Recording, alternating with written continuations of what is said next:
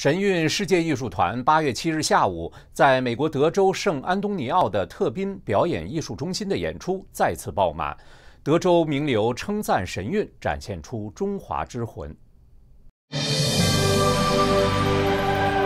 It is. It's beautiful. I'm, glad that the tradition has been preserved. I love it. I love it. It's it's uh, it's the soul of China. To me, communism destroyed the soul of what makes China China.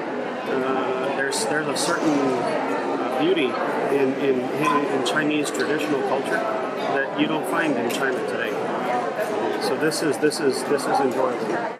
神韵艺术团恢复中华传统文化的努力，也让这些西方观众们备受启迪。I feel like honestly, it's kind of an appropriate message for people today. You know that. It, it, looking back at tradition, you know, a lot of a lot of today we try to throw away tradition and, and try and replace it, and I, I don't think we've done a very good job of it. Respecting where we came from, the the religious roots that all cultures have, and following the the, the traditional teachings of of of that were passed down through religious means. 神韵精妙绝伦的表演也让观众赞不绝口。 It's very well done, very well choreographed. They they work very hard to to be in sync. Uh, the choreography is well done.